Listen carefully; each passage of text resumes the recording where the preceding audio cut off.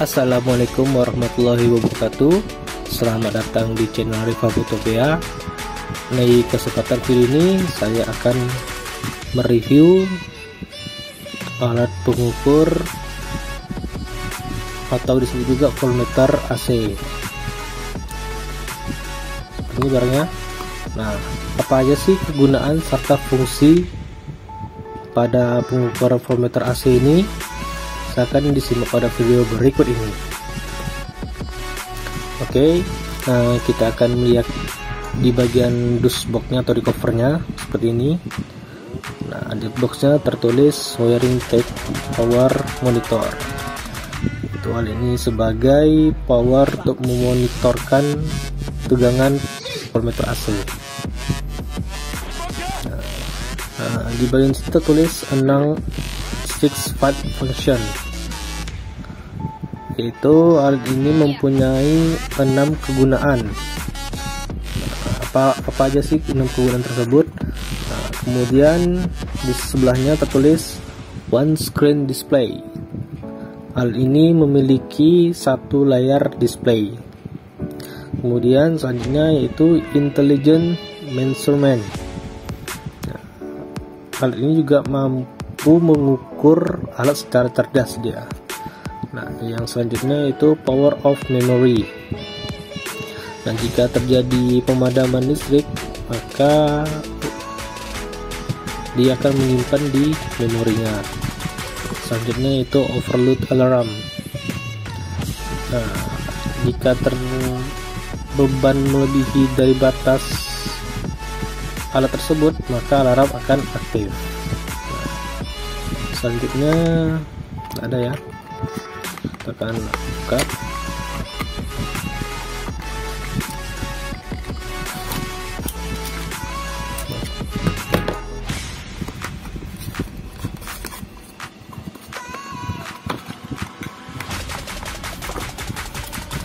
Ini bukunya dan ini alatnya. Seperti ini alatnya. Oh iya alat ini bekerja di tegangan 110 sampai 250 dan untuk bebannya kisaran 100 ampere dan dari power 1 watt. Nah ini merupakan alat pengukur ampernya. Saya lihat. Seperti ini. Yang terhubung di kabel nomor 12 nah kita akan lihat di buku panduannya. Hmm, nah kita mencari yang 100 watt. Bisa dilihat di sini. Oh iya. Uh, tadi sini tertulis enam fungsi. Nah untuk fungsinya itu dia bisa mengukur tegangan ampere jumlah watt jumlah pemakaian kemudian kilowatt serta frekuensi. Nah, untuk di displaynya satu display ini ya oke ini bisa jadi pengunci. Nah kita cari yang satu watt nah ini bentuk rangkaian skemanya. Di sini jelaskan bahwa kabel nomor 3 dan 4 terhubung ke arus PLN atau listrik kemudian untuk kebebannya dari salah satu kabel kali ini masuk ke konduktornya induktornya. Nah, masuk di sini satu. Nah jika sudah terpasang bebannya maka nilai dari beban tersebut akan terbaca di display ini. Seperti itu. Adalah kita akan mencoba merakitnya untuk bahan-bahannya sangat simpel yaitu satu alat power monitor ini. Kemudian untuk kabel KRPLN serta kabel stop kontak colokan. Kita akan merakitnya.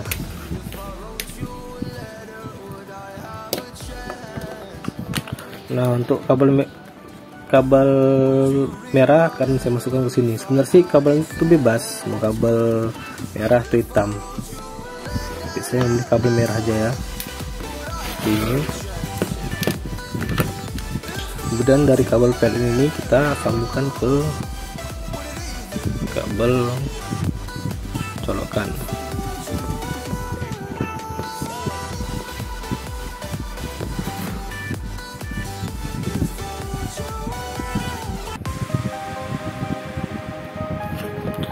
selanjutnya kita akan memasang di sini.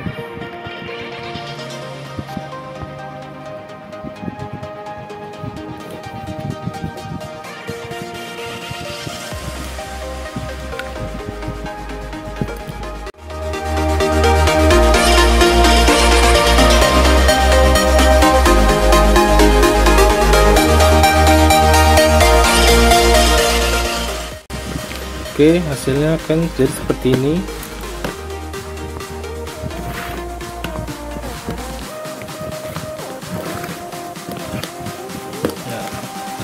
untuk PLN ini untuk ke beban. Saya akan bebannya gunakan yaitu blender.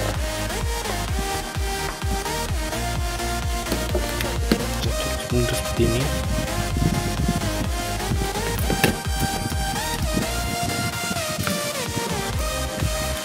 Oke kita akan mengetes si ala blender dulu ya. Colokannya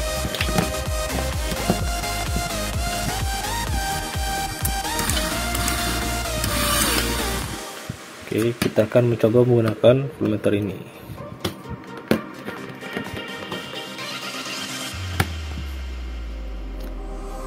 Oke. Ini sudah tersambung.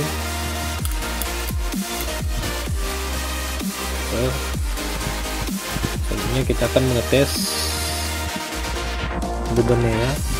Oh ya di sini terbaca tegangannya itu 12 21 terus 13 volt bebannya tidak ada ya kosong karena belum dicolokkan beban ini kita akan mengetes bebannya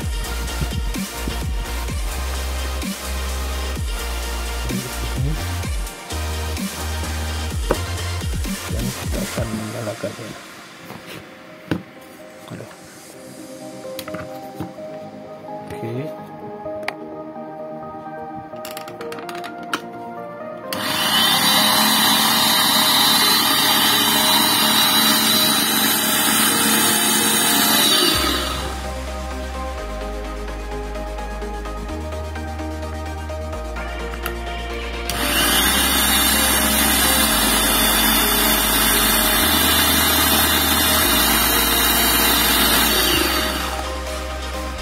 Oke bisa lihat tadi tegangannya terbaca.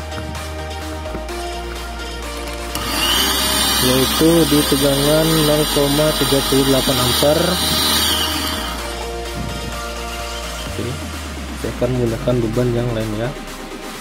Selanjutnya saya akan menggunakan beban dengan menggunakan kipas angin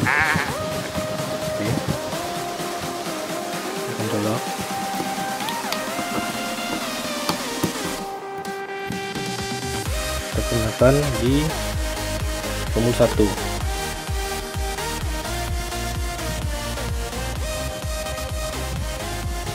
Tombol kedua.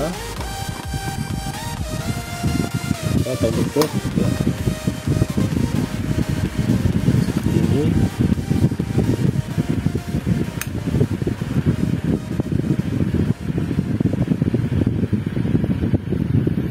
Oke, sekian video kali ini.